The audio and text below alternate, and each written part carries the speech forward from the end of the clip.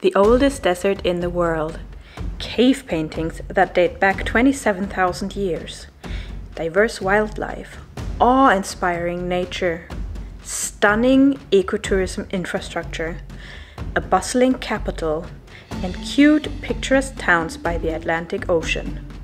The country I am talking about is Namibia, possibly my favorite country. And now, unnoticed by many in the digital nomad community, Namibia has launched a digital nomad visa that will allow you to explore the country for five months. So in this video, I will introduce Namibia to you as a country. I'll talk about where to work and live as a digital nomad. And my favorite part, all the beautiful, fun things in nature you can do in Namibia. And last but not least, of course, as always, I will get into the visa details, what you need and how to apply. As always, if you want to jump right to the visa description or watch some other parts of this video at a later time, the timestamps are down below. Just click on them and they will take you right where you want to go. Hi, my name is Sara. On this channel, I aim to provide you with everything you need to start the digital nomad lifestyle in confidence. If that sounds like you, please click subscribe, hit the little notification bell, and without further ado, let's get right into my favorite country. Okay, let's get into some travel infos. Namibia, or as it goes by its official name, the Republic of Namibia, is a country in southern Africa. Its western border is to the Atlantic Ocean and it shares land borders with Zambia, Angola to the north, Botswana to the east, and South Africa to the south and east. Namibia actually used to be governed by South Africa, but gained independence from South Africa on the 21st of March of 1990 in the Namibian War of Independence. Its capital is Windhoek. Its official language, since its independence, is English, although actually only 3% of inhabitants in Namibia speak English as a first language at home. As with most African countries, there are plenty of different languages spoken in the country itself. Um, this goes back to colonization, when the colonizing powers, without ever having been to Africa, actually just took a map and, you know, divided it up as to how they thought it would be best for, I suppose, their own interests, which in some cases actually divided a lot of the tribes in the area, and, you know, the land borders didn't make sense on land itself, which is why in many countries there are so many different uh, languages spoken. Anywho, after this little tidbit of colonial history, let's get back to the present, where, as I said, the official language in Namibia is English. The language that in actuality is spoken by most people is Oshiwambo. And amongst the white minority, Afrikaans, which is pretty close to Dutch, German, and English are the main languages. Nevertheless, you will be absolutely able to get around in Namibia speaking English. Its currency is the Namibian dollar. Right now, at this point in time, one US dollar translates to 18 Namibian dollars and 25 cents. And if you've never been to Africa and you're having safety concerns, let me assure you that Namibia is a very safe country. To be precise, it is actually the fifth safest country on the continent and it has a stable multi-party parliamentary democracy. Sorry, that was a bit of a tongue twister for me. However, that doesn't free you from common sense safety precautions. And then I suppose I have one extra bit of security advice that might be more relevant to, you know, the African continent than other places, which is if you are camping in the wild, don't get out of your car at night. As first, I mean, you know, don't camp in, in a tent that isn't, you know, on a roof at night. If you want to camp on a in a tent on the ground, use campgrounds. But also, if you are, for example, car camping, don't leave your car at night and go into the bush to, for example, pee. Instead, find other ways to take care of the situation. Okay, a quick word about the weather. Namibia is part of the subtropical high pressure belt. This means that, particularly inland, it is frequently blue skies, very warm. However, in the desert, like in most deserts, it can get quite cold during the night.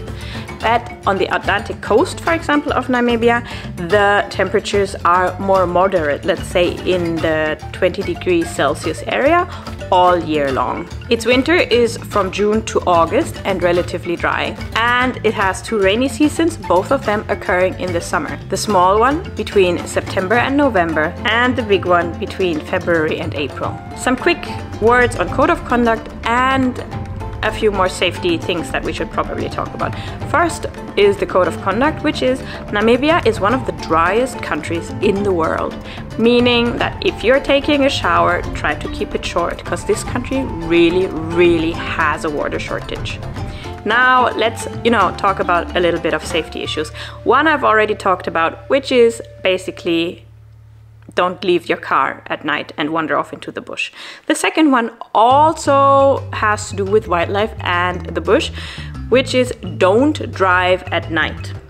Namibia is actually a country where you have plenty of wildlife running around freely. When I traveled to Namibia, about 10 years ago now, I would say, I was so surprised that on the way from the airport across the highway to Windhoek, where we went, uh, you could, you know, out of the window of the car see zebras and giraffes just walking by the street. So don't drive in the dark when you can't see what's in front of you and around of you. You know, the roads aren't there aren't any any road lights if you're out and about and you really wouldn't want to drive into a zebra or even an elephant. Next, you should probably have a 4x4 if you want to go exploring.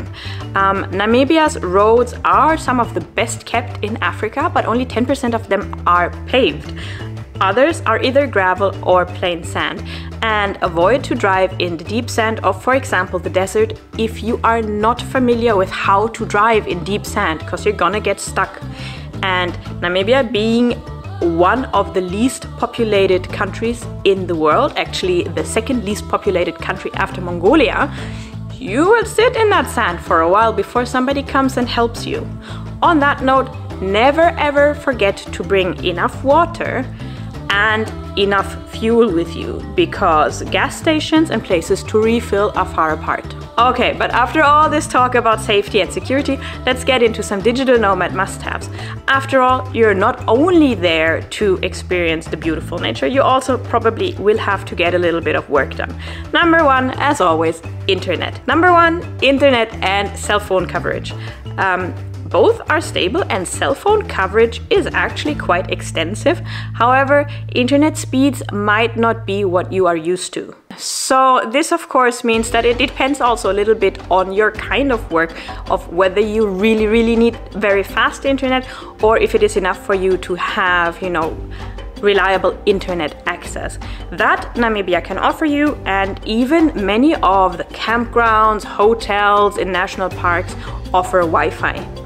And again, cell phone coverage is there too. So if you stay for a while and you buy yourself a SIM card with an internet provider or with an internet flat rate, you can always hotspot for yourself with your phone. Tourism infrastructure. I've already said that the roads are some of the best in Africa.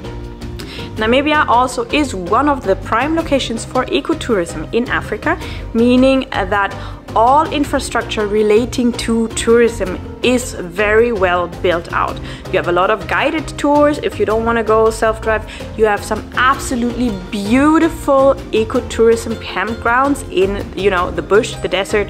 Um, most of them actually, I was so surprised when we were there, most of them actually even have small swimming pools, which, you know, I personally, I guess I'm somebody who doesn't need much uh, creature comforts or many creature comforts. I was quite surprised by um, warm water, some really smart solutions as of how to warm water with, you know, while the barbecue, for example, is going. So there's some really smart and really beautifully made tourism infrastructure for ecotourism for discovering the country you will probably arrive through the main gateway to the country, which is Windhoek Airport, unless you are already in Africa and are, for example, coming from South Africa or one of the other neighboring countries. Accommodations. You can, of course, find hotels, super fancy safari lodges, Um, like I said, you can rent a car and camp, although maybe that is not something that you will be doing for five months, or maybe you will. I mean, that would be cool. Um, there are different options there, um, staying in natural parks and whatnot. But if you choose, for example, to stay in Windhoek and make that your base, and then you know, do travel trips in between. Windhoek and the two smaller cities of Swakopmund and Lüderitz, which both are by the Atlantic coast, all have beautiful apartments that you could, for example, also rent on Airbnb if you do not want to stay in a hotel. Generally, at least in Windhoek, most residential areas that I saw had some form of fencing around, so they were closed, guarded communities. Cost of living. As usual, my numbers come from Numbeo, which I can warmly recommend if you are planning a trip somewhere or a move somewhere and want to get a feel for the prices because they are crowdsourced and therefore always up to date. Um, I have translated the prices to US dollars because I feel US dollar is a currency that is easier to translate to whatever home currency, if you don't have the US dollar, you have for most of us. A meal in an inexpensive restaurant will cost you about $8.30. A cappuccino will cost you $1.60. Usually I mention transport passes here, but all three cities that we're gonna look at, so Windhoek, Swakopmund and Lüderitz um, are first of all relatively small so they can be walked and um, definitely after dark it is very recommended to um, take a cab instead of walking. So that's why in this video we're sticking to cab fares. One hour of waiting in traffic in a cab will cost you $2.50. This is because African traffic can be adventurous during rush hour. Um, so there is the cities will get quite clogged and you might actually end up standing in traffic for a while, which again, if you don't have that far to go and feel safe, I recommend just walking. An apartment in the city center, and here we're talking Windhoek, will cost you 355 US dollars, and an apartment outside of the city center will cost you 271 US dollars. Where to meet other digital nomads? Well, like I said, the cities we're looking at here are Windhoek, Swakopmund, and Lüderitz. Generally, co-working spaces aren't as common in Namibia, part of the reason being that, you know, laptop lifestyle or laptop work isn't as common in Namibia or generally on the African continent. However, both Windhoek and Swakopmund have co-working spaces such as GoWork and Desert and Ocean co-working. You can always sit in a cafe and hotspot with your phone and those there are plenty of. Fancy coffee shops, smaller cafes, malls with fast food restaurants. So all of that is available and if you don't want to sit at home and work, these are places where you absolutely can. Let's take a closer look at Windhoek then, shall we? And here I would like to kind of say some words from the heart first.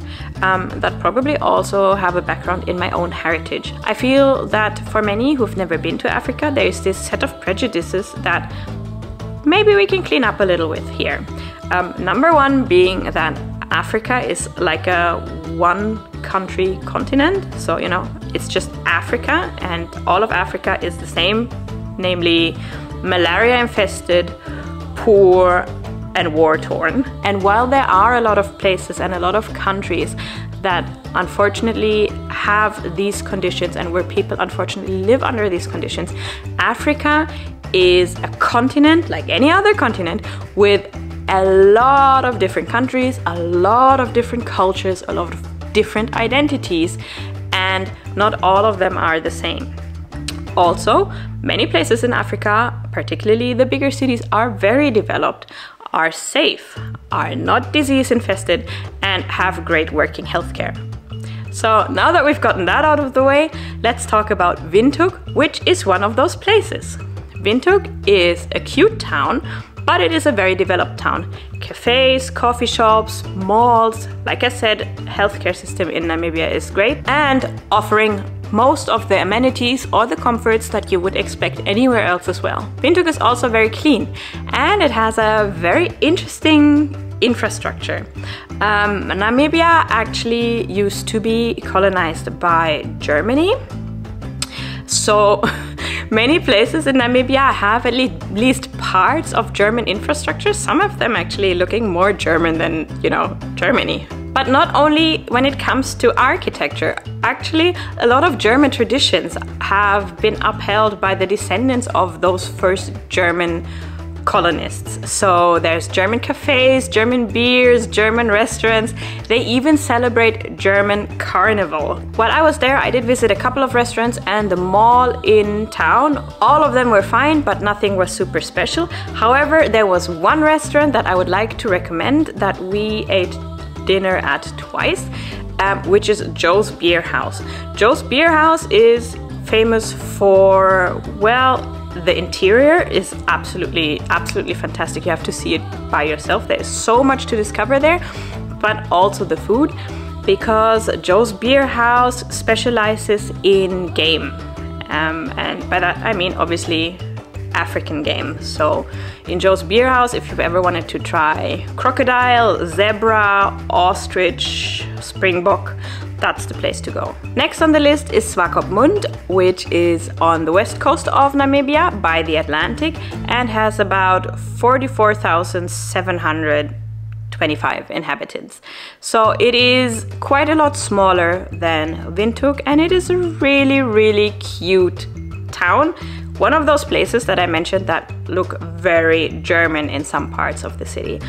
Um, it is also, like I mentioned before, um, one of the places where the weather is a lot more moderate, meaning that you will have about 20-25 degrees all year round. So if you can't really deal well with excessive heat, that would be a good place for you to be. And it is both the gateway into exploring the Skeleton Coast as well as into adventure travel into the Namib Desert, which is the world's oldest living desert. The town itself is actually very walkable. You don't need any kind of bus traffic, I would say. Um, and when it comes to adventure travel, for example, quad biking in the desert, or you can go, you know, on balloon rides, stuff like that, desert exploration things. Or you could drive to Walvis Bay, which is about 40 kilometers from Swakopmund and is a lagoon, very famous for its marine life. It has hundreds of flamingos. You can, from Swakopmund itself, take boat trips. We took a, took a boat trip to go and see dolphins, which was absolutely a fantastic experience. Um, seals, you can see pelicans, and um, the whole area is, of course, because of its proximity to the Atlantic Ocean, also famous for its seafood. We, for example, had freshly caught oysters while we were looking at the dolphins. And you know, I'm not really an oyster person at all, but even I have to admit that those oysters were very tasty. And if you want to explore the Skeleton Coast more, you can from Swakopmund easily get to Henties Bay and Cape Cross. Cape Cross is one of the biggest, if not the biggest seal colony in the world. Last but not least, the town of Lüderitz. Lüderitz is a coastal town in southern Namibia, so it faces the Atlantic Ocean and otherwise is surrounded by the Namib Desert. And it is so isolated that actually only one road goes into town.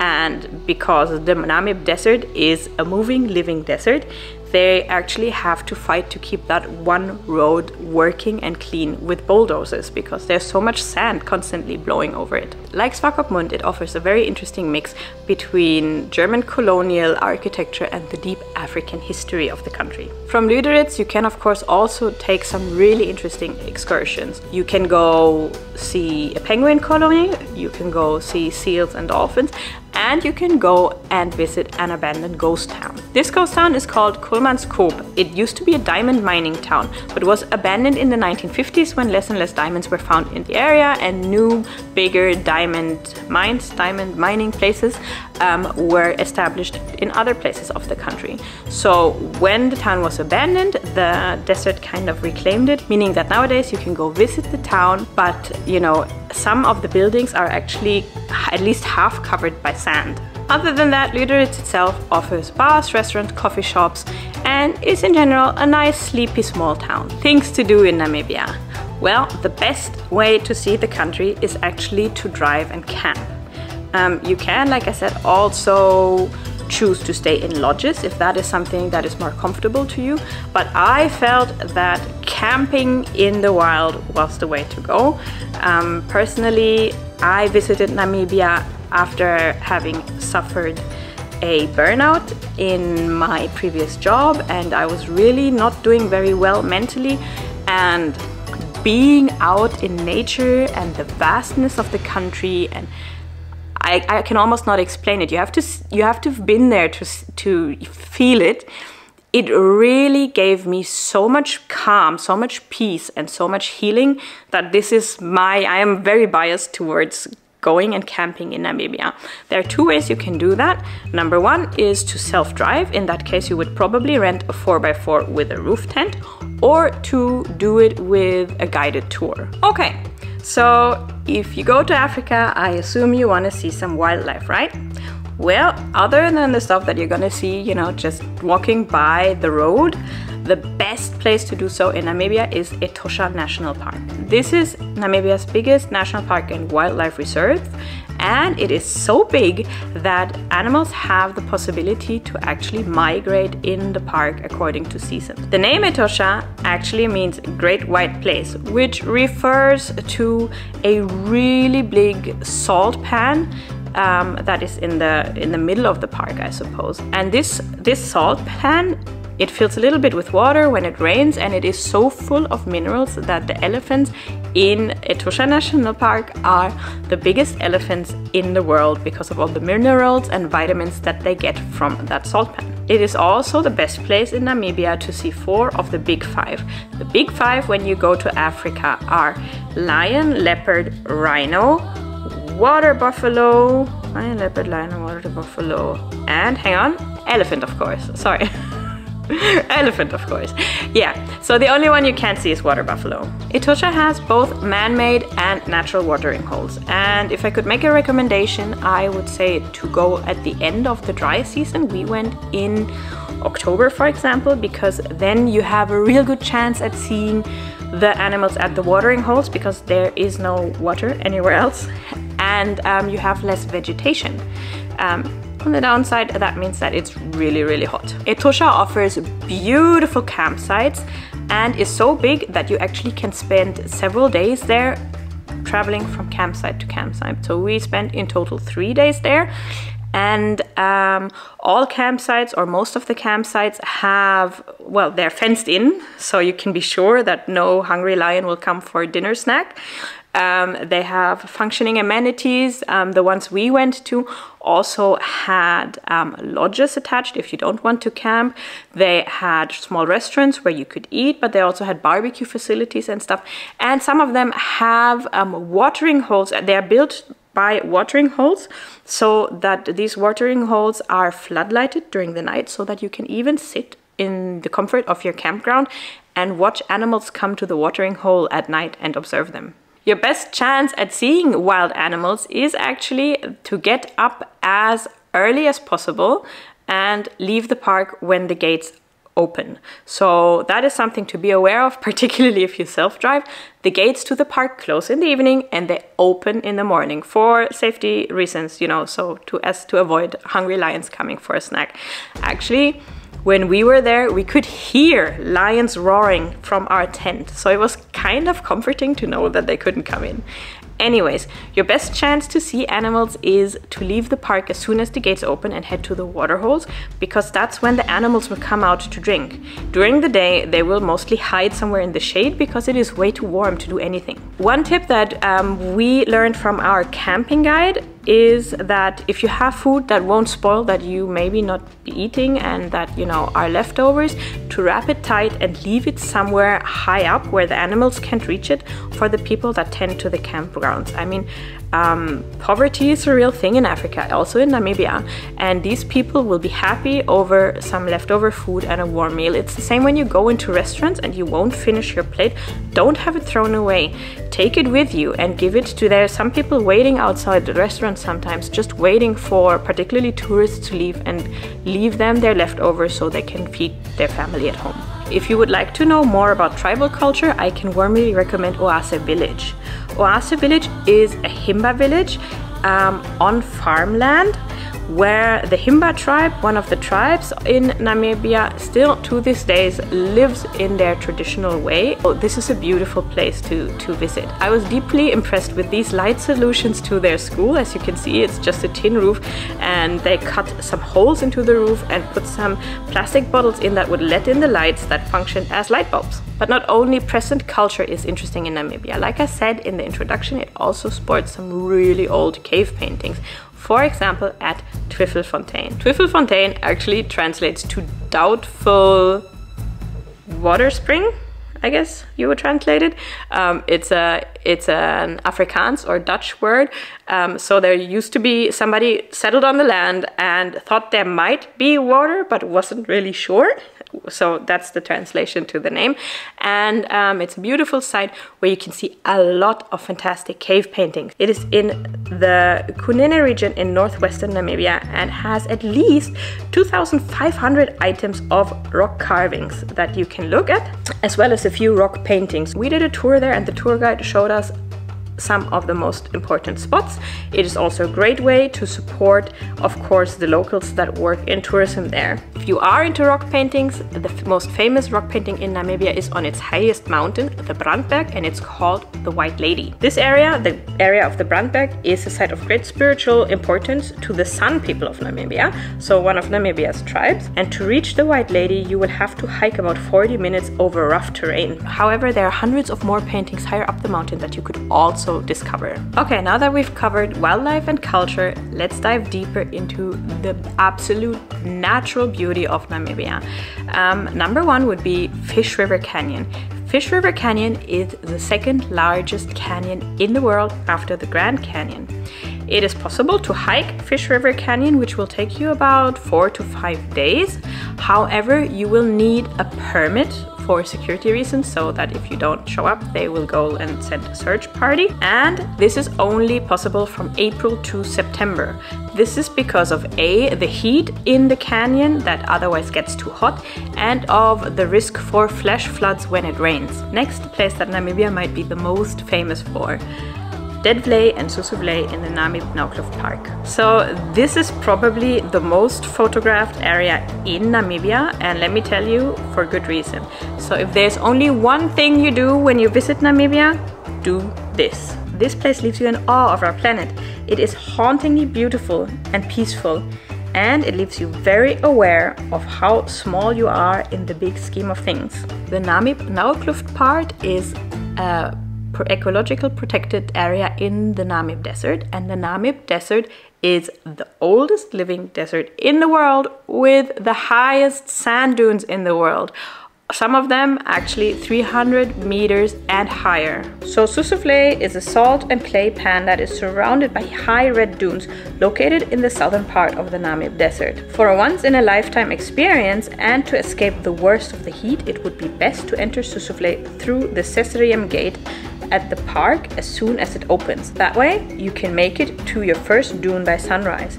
We stopped at dune 45. It's called so because it is 45 kilometers past Sesriem on the road to Sossusvlei. It is 80 meters high and it's composed of over 5 million year old sands. We climbed it just in time for sunrise, rolled it down, and then had breakfast in front of it. Next stop, Sossusvlei. When you reach Sossusvlei, there are three parking areas on the last 6 kilometers to Sossusvlei. The last two of them, if you choose to drive there, you can only drive there if you have a 4x4 and if you are experienced in driving in sand. You will get stuck in the sand otherwise. Another option is to take the shuttle that is offered, or to do like us, we hiked the six kilometers. The terrain was okay, it was quite flat, but it was getting warmer and warmer, which was, you know, you have to be able to handle the heat, but it was beautiful hiking through the desert like that. From here, some of us decided to climb the dunes to enter Deadvlei, which is about two kilometers from Sossusvlei. This was a really great experience, but a tough hike, climbing up multiple dunes as it got hotter and hotter. I really only recommend this if you are in good physical shape and have plenty of water. Two kilometers doesn't sound like much, but when you are spending it climbing up dunes in the merciless sun, nothing on the horizon but more red sand, then they can feel very far. That being said, finally summiting the last dune in the burning sand and the over 40 degrees heat and looking down into Deadvlei at the bottom of our feet was like a Fata Morgana. Deadvlei used to be an oasis with camel thorn trees, and as I stood there, on top of the dune, looking down into the dry valley, I tried to imagine how it looked thousands of years ago. Now, the only reminders are the dried skeleton of these trees, as the ever moving sand dunes cut off the river that fed the valley. On the way to your next stop, you should consider stopping at a very special place which probably has the best apple pie in all the country. Solitaire sits just below the Tropic of Capricorn at the center of the 45,000 acre solitaire land trust, which is dedicated to preserving the grassland ecosystem and the wild animals that reside here. And you know what? I guess this says a lot about me and my personality, but that's my happy place. I dream about living in solitaire a couple of months. So if I were to take the Namibia digital nomad visa, that would probably where you would find me. It's this really cute town of not even a hundred inhabitants. It is a popular stopover for tourists. It has a bakery, a cafe, you can get some cold drinks, you can get the apple pie, but honestly, solitaire is the right name for it. Number one, because it refers to the solitaire diamond, it's a really special place, but also because of solitude. It's so calm, so peaceful in the middle of the desert. I just, you know, again, one of these places you just get a good feeling. Now, if apple pie in the middle of the Namibian desert is not enough to make you at least consider to stop in solitaire, it also has a cheetah sanctuary that you can visit, which is close by. Here they are taking care of cheetahs that for some reason cannot live or be released in the wild at the moment. So rescue animals and they are really doing great work and trying to prepare the majority of these animals to be released in the wild eventually. I hope I could really convey my love for this country, its people and its beauty to you because like I said, it's probably my favorite place in the world. If you got value out of this video, I would really appreciate it if you would hit the like button, which is a free way for you to support me in growing this channel. Thanks a lot and let's get right into the visa details. The visa targets remote workers, freelancers and self-employed people, so digital nomads, and allows them to stay in Namibia for a total of five months. You need to prove an income of at least 2,000 US dollars per month. An additional 1,000 US dollars per month if you would like to bring a spouse, plus 500 US dollars per child that you would like to bring.